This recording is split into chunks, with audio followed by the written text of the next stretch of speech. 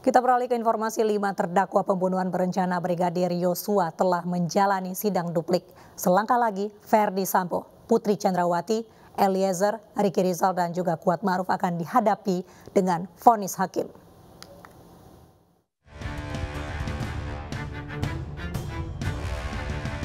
Kasus pembunuhan berencana Brigadir Nofriansyah Yosua Huta Barat mendekati babak akhir. Lebih dari 100 hari berlalu sejak sidang perdana Sambo CS digelar pada Oktober 2022. Kini Ferdi Sambo, Putri Chandrawati, Richard Eliezer, Ricky Rizal, dan Kuat Ma'ruf selangkah lagi akan menerima vonis hakim.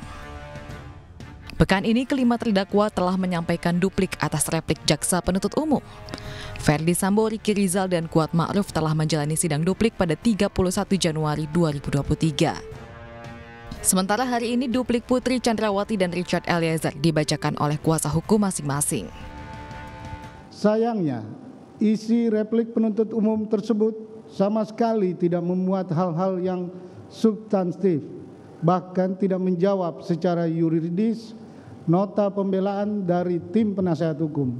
Kami memohon kepada majelis hakim yang memeriksa dan mengadili perkara aku untuk memberikan putusan sebagai berikut. Satu, menerima dalil duplik dari tim penasihat hukum dan terdakwa kuat ma'ruf bahwa kami tidak sependapat dan menolak replik jaksa penuntut umum, di mana sebenarnya tidak ada fakta hukum dan argumentasi hukum yang bersesuaian dengan fakta yang terungkap di persidangan.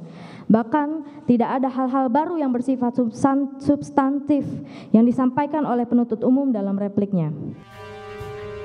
Terdakwa Ferdi Sambo dan Putri diagendakan menjalani sidang vonis pada 13 Februari 2023. Terdakwa Riki Rizal dan Kuat Ma'ruf akan menjalani sidang vonis pada 14 Februari 2023. Sementara Richard Eliezer diagendakan akan menjalani sidang vonis pada 15 Februari 2023.